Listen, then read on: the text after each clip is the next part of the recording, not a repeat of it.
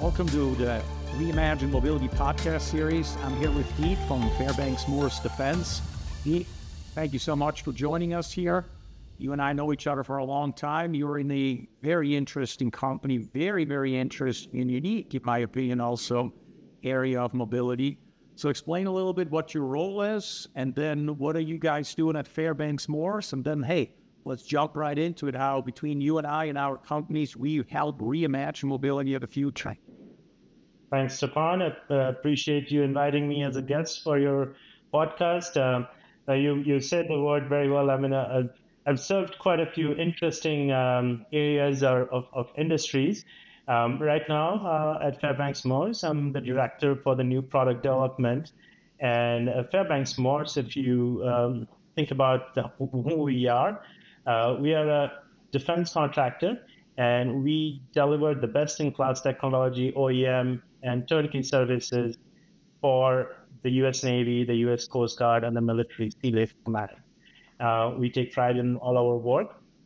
Um, and uh, so my group, we are responsible for understanding what the Navy's future requirements are, not from the power, but also from a mobility perspective, and deliver uh, solutions to them. Um, you know, if you if you would have asked me, you know, four years back, who Fairbanks Morse Defense was, we were a nation's premier engine supplier. We supply, we have a close to 80, 85% market share in terms of uh, engine uh, or power sources that goes in the, in the Navy ships.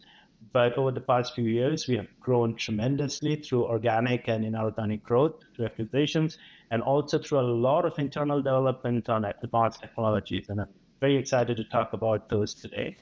Um, again, we are very well networked. We are there wherever there is a naval uh, yard is, shipyard is. We want to support our customer So excited to be here. Uh, very interested to talk to you. Excellent. So let's jump right in it. I mean, when I hear Navy, I hear obviously submarines, I hear potentially autonomous type ships, uh, the regular ships so above water. Not sure, I probably don't use the right terminology here, but anything from small to big, anything from people carrier to, to hospital ships to probably very much nuclear powered or nuclear capable uh, warships. What is the Navy looking at it when we're talking about going into the future and reducing emissions, increasing sustainability? I assume, similar to the rest of the industry, one way or the other, they look at electrification. I don't know, hydrogen in the game here or not. Highlight a little bit what you guys are doing and what you're seeing. Obviously, only with what you can share here. Yeah, no, absolutely. That's that's a very loaded question to be very honest. Is what you have asked is basically what the Navy's next 30 year plan is. Um, so there's one application which, as you said, autonomous. Uh, the word the Navy likes to use is called uncrewed, uh, which is no crew on board and the way they call it is an uncrewed service vessel. So these are the vessels which are going to go service the existing ship, the aircraft carriers, the other uh, platform uh, landing ship. Um, and what they have categorized is uh, three ways. One is the SUSV, which is a small, MUSV, which is medium, and LUSV, which is large. Um, and uh, there has been a lot of work that's been going on. Uh, the SUSV is more like a drone ship but the bigger as you go to the LUSV, now we are talking about close to, uh, I mean, a, a, big, relatively big ship. There's a lot of uh, equipment in there, and there is if there's no person on board, the equipment in there needs to last the mission, and they are targeting uh, a minimum of um, 30 days. So, which means if it needs to go and service, it basically goes does the job, delivers the product, and comes back within 30 days. But the goal for the Navy is 90 days. It's, uh, it's, it's going to keep on stretching, which means every equipment you have on board needs to last continuously or work continuously for 90 days without anyone going and touching it. So that's one area where the Navy is spending a lot of time and effort um, electrification, obviously, I mean, you know, electrification is a EV, or, uh, as we see in the automotive space, or even in the on highway. Um, there is a lot of electrification that's happening, but it's more happening on the power distribution side. So if you look from a complete power source to a end power usage side, you have the power uh, source, which is either comes from a diesel engine, gas turbine, nuclear power, nuclear plant, and then you, that power gets consumed uh, either by shaft or you know there's a different way, and then you it goes into the end application, whether it can be propulsion, uh, the battalion need, or launching a missile or some other weapons, or even to support the other navigation system and all those things. If you look back five, even 10 years back, most of the ships, uh, if, uh, if you pick, will have two types of power sources, and they were very staggered. One is like the main propulsion, they used to call, um, and if it's a diesel engine, they're normally labeled as MPDEs, which is the main propulsion diesel engine. And those were the one which is kind of directly coupled uh, to the propulsion device.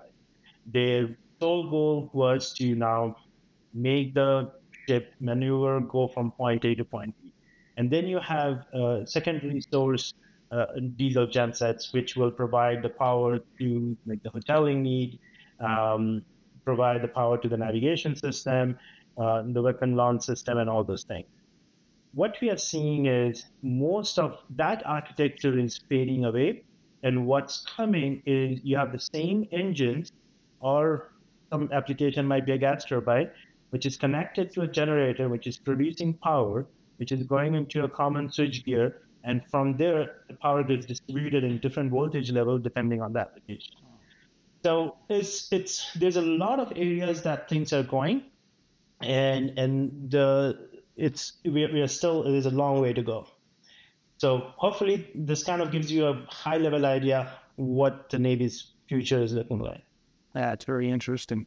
So then when when we're talking about Fairbanks Morse, again, you've talked about large, powerful engines, and clearly the Navy is not going to go away with power requirements that they're needing. And and I assume it's very similar to a ship or a U-boat, very similar to a car there's more and more gadgets in there, which means we're consuming more and more power. So, how's a company like Fairbanks Morrison? How are you guys? How are you personally, Deep, helping then shape the future of mobility for that area? In this case, for, for the Navy. Yeah. So the the key answer is power density. So again, in a ship, there's two challenges. One is a weight, and one is a space. Um, if you think about, I'm just gonna give a very simple example. If you have a ship which requires 20 megawatt of power, which includes your propulsion, your like hoteling and everything, you can have that with two 10 megawatt of power, or you can have uh, five 4 megawatt engines. Uh, and the question then is, is can you make the five 4 megawatt engine more power dense that it can actually take less space, less volume, provide more efficiency than the large, medium, or slow speed engines. And that's why we actually introduced our new first, uh, the most power dense uh, engine. Uh, we call it the Enforcer FM175D. Uh, this is the, has the highest power density for any high speed marine engines. Uh, the and again, it's been thought out. Uh, there's a lot of things that we are developing along with that engine. Uh, as we talked about the uncrewed mission that can last up to 90 days. We don't want any service to happen in that 90 days. So the new boil change has been uh, pushed out. So basically, we have a more number of uh, cleaners, filters, and even if there's a, combustion anomaly that's happening, we are able to detect that early on so that we can add additional centrifuge, trigger an additional centrifuge. And not only that, it has some of the most advanced technologies like common rail.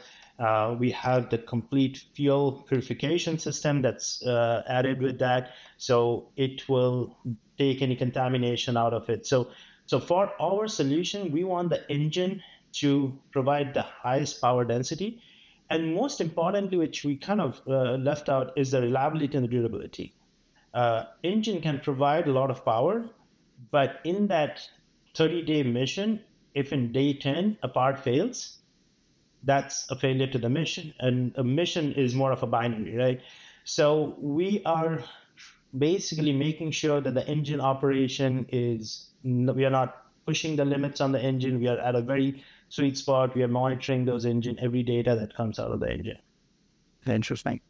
So in, in the marine space and more maybe sports boats, right? Uh, private boats, uh, any type any type of sizes, uh, we start to get more and more involved at AVL with electrifying those purely electrified propulsion systems. We're involved with larger, with tankers or larger ships or very large ships that we're helping now develop technology for hydrogen-based or fuel cell-based uh, power generation.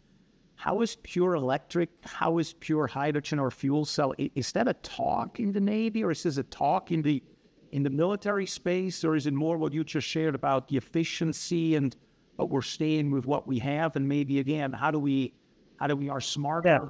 consuming power? How is that looking? Yeah, so so battery, you know, if you look in the commercial marine space, right, there are there are different applications um, so one app, I mean, you can kind of categorize, right? So one is a ferry application, which is we call it the point to point. It keeps on going from point A to point B. And what we are seeing in the commercial marine is a lot of adoption into pure electric, where you're just having a battery, and and that completely makes sense because you are now uh, you don't have to you know your pattern very well. The other application is where you're looking into a tugboats where uh, the tugboats, if you think about it, they literally idle 90% of their life.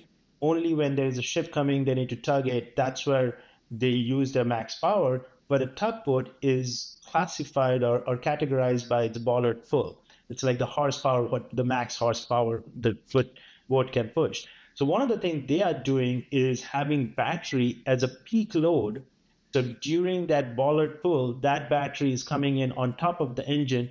But other than that, they basically are sitting idle. They can easily charge the battery or even go in a battery mode. A lot of the ports are kind of mandating um, a no emission zone. Uh, so they kind of, when they come to the shoreline, or there's a lot of uh, ports are mandating a silent zone so they can go in battery mode. Um, now, when you talk about the mission driven ships, right, like the OSVs, OPVs, or even the Navy ships, it gets a little bit challenging how you use the battery or can you rely on the battery. We don't have a range anxiety, but you have a mission anxiety now. So can you can you complete your mission uh, in that range now?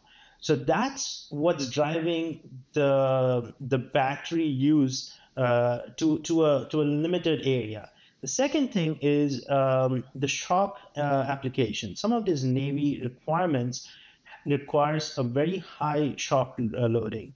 And last year I was in um, the hybrid electric uh, uh, marine expo in Houston, and I was talking to a lot of this marine customer uh, battery manufacturers, and they're going towards a NATO grade shock qualification for this battery. Um, there's always a stigma about using a lithium ion in the ship because of some of the safety issues. There's a lot of talk about how can we mitigate those safeties. The one area where we have been talking with some of our future application is if you if you are now using can we use the battery as a weapon launch system and the reason is if you are producing the power from an engine uh, it's an ac power now when you launch a missile you need a sudden burst of power. It's like a pulse load, and which your AC current is very difficult to provide. It can, but you have to kind of superimpose quite a few of those. Can you have a battery pack, and which reserves that much power, and you now suddenly push out that much power? What that requires is a very high C rating of the battery. So there is a lot of discussions that's happening uh, on the which are still on the development phase, I would say, but definitely that's going to be coming. Uh, what I do see is battery are gonna battery technology is gonna come uh, as a peak shaving. The engine is gonna be more operating more as a variable speed engine.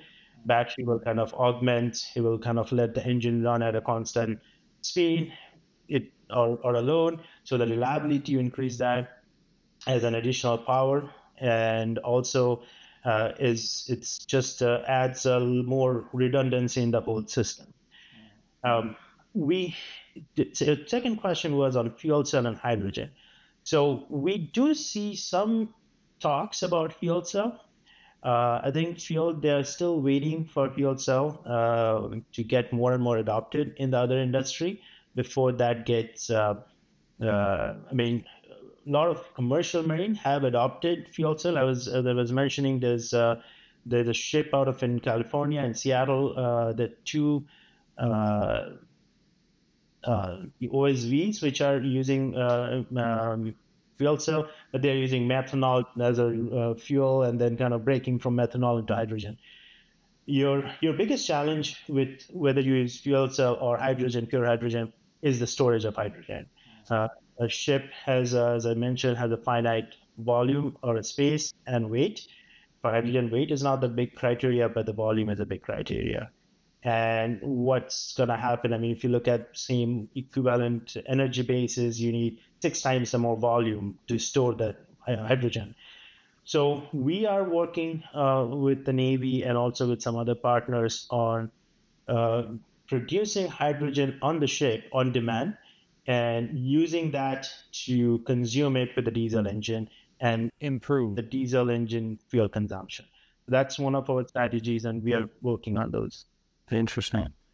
So when we when we take some parallels to what you just shared, it sounds like again a hybrid approach is really sort of what what's being pushed today, right? Which when we look into electrification up until about maybe five years ago, that I think was the main push, certainly in Europe, in the US as well. And then suddenly we went, forget hybrids, let's go to EVs.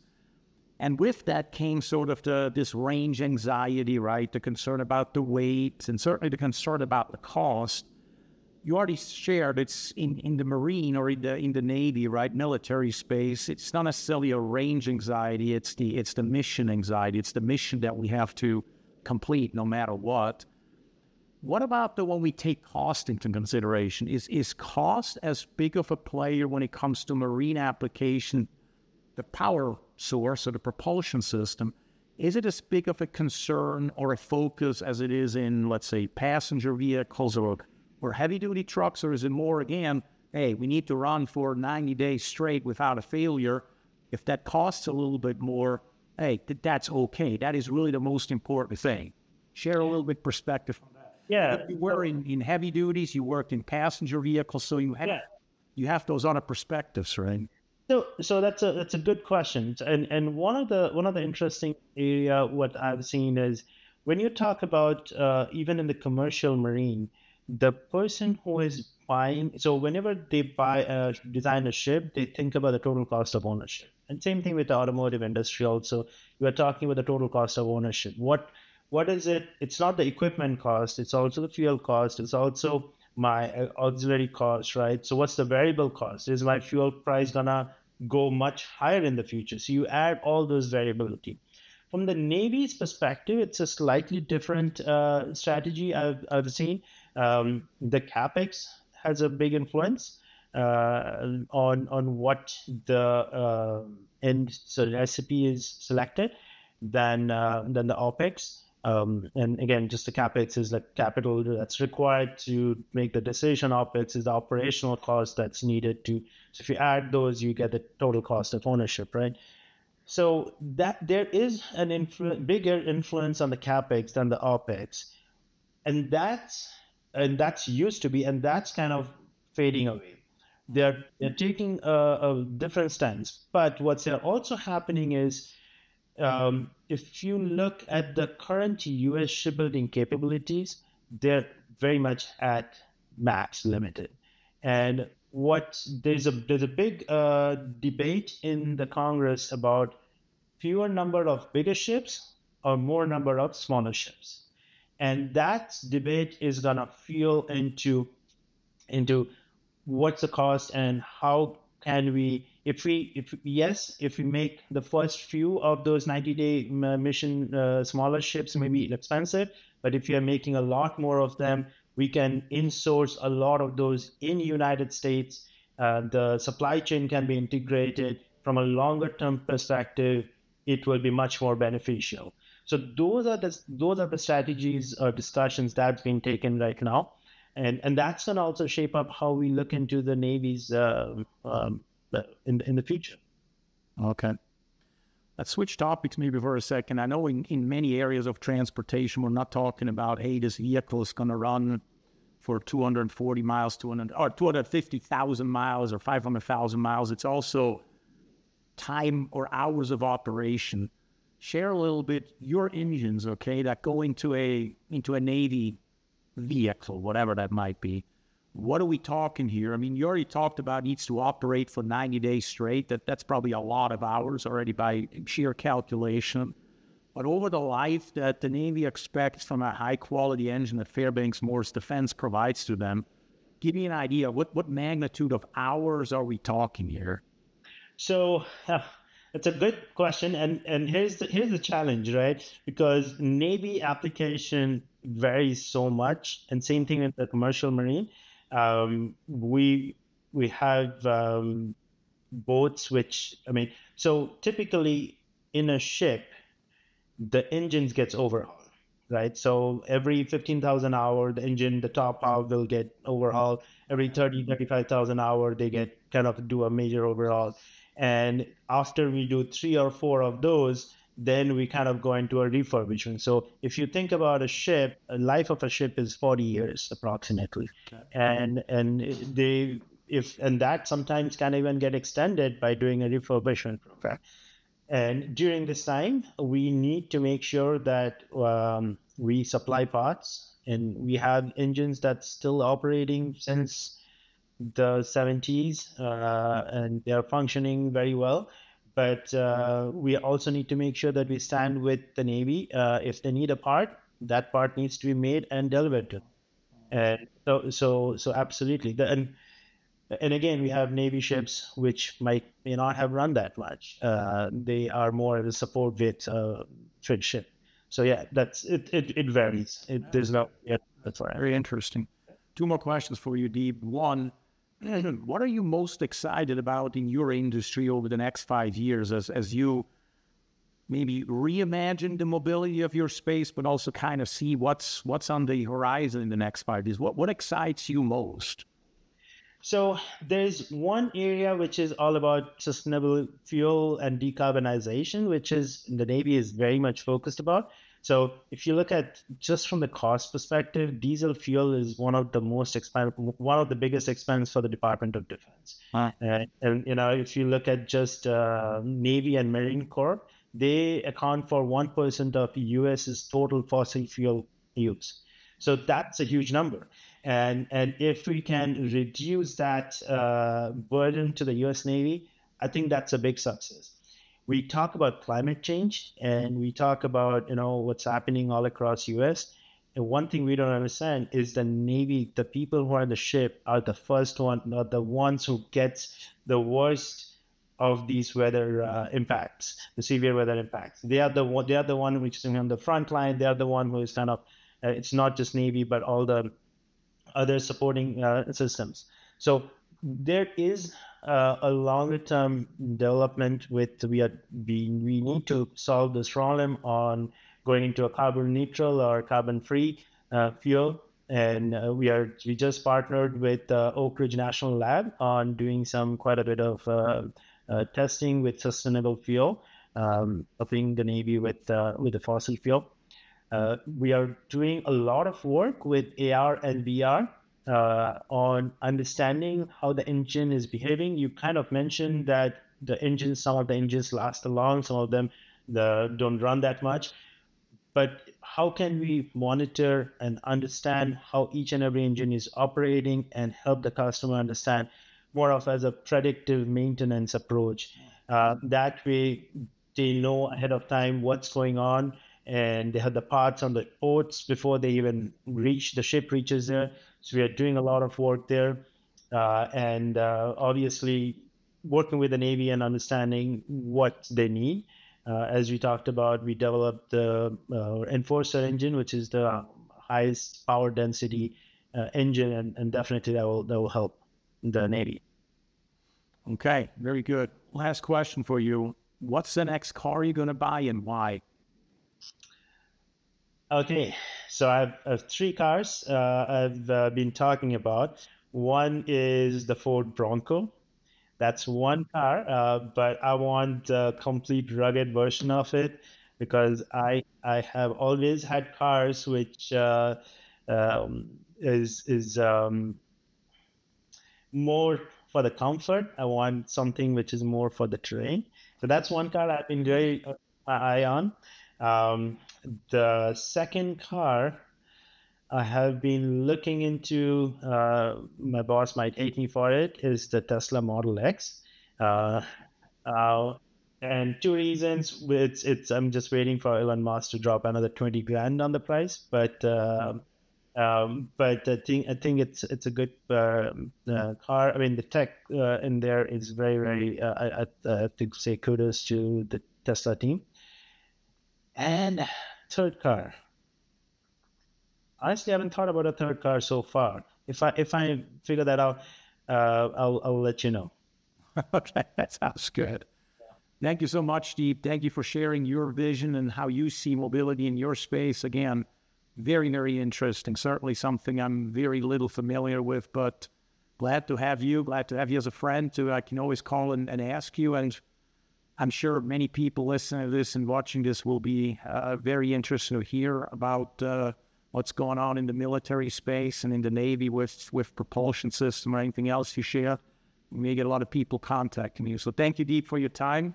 And thanks for, uh, together with us, reimagine mobility in the future. Thank you. Thanks, Stefan. Appreciate you uh, inviting me. And if you have any further questions on what Fairbanks Morse Defense has to offer, um, please go to our website. We have quite a few exciting open positions. If anyone is looking for a uh, exciting role in the defense industry, this is a perfect place to work. So um, look forward to talking to you guys next time. Thanks for listening to Reimagine Mobility Podcast. If you like this episode, please subscribe and tell a friend.